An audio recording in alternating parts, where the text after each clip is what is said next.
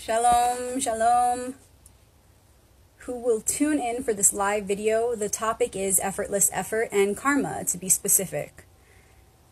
I think that for many people, no matter what level of awareness we're at, we tend to get caught up in material entanglement in one form or another. And it's important to remind each other because it will just sneak up on us. And one thing I think we get very confused is karma. Karma is just cause and effect. No one can escape this.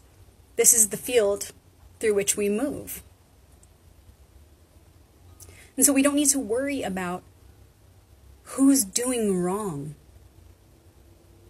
And we, we might even say, oh, yeah, I know that, I know that. But in small ways, it's really sneaky where we do this thing. We worry so much about what the next guy is doing.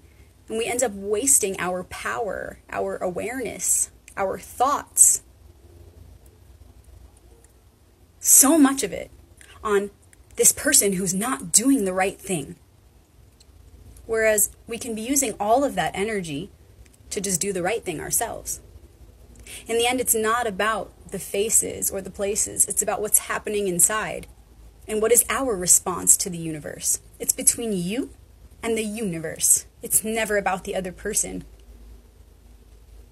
And so, for example, when somebody does you wrong, and we hear this all the time, when somebody does you wrong and they and then you say, well, you know what, this person did me wrong, they did me dirty, so I'm going to do the same thing. It's their karma.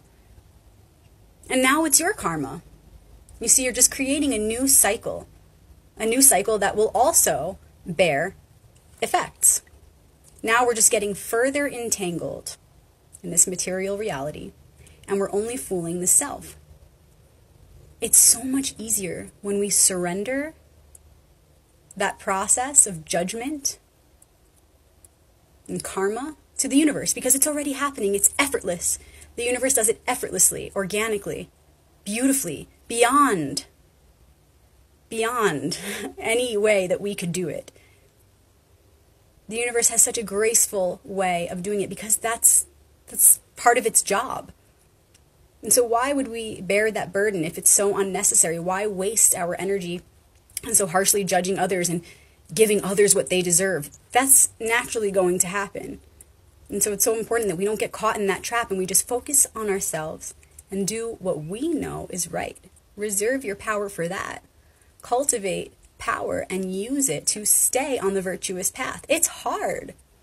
It's hard to keep that will, that strength of will focused, laser point focused on the virtuous path. The ego is very tricky and it only gets trickier as we level up. So let's let's do it the way of effortless effort. Like in the Tao, this is described as wu wei. It's called wu wei, effortless effort. We allow the field to carry us. We learn about self because everything is a part of self. So we learn about our environment as part of that self. And we learn about these laws through which we move in and upon this field.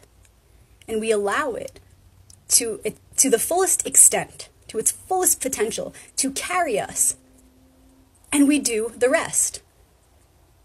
It's kind of like the saying, do your best and let God do the rest. That's exactly what it is. We do what we can do,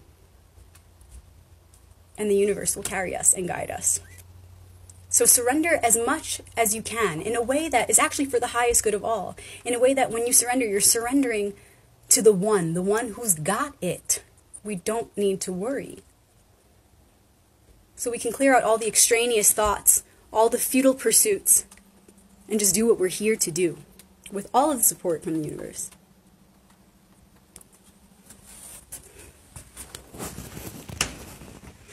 Shalom.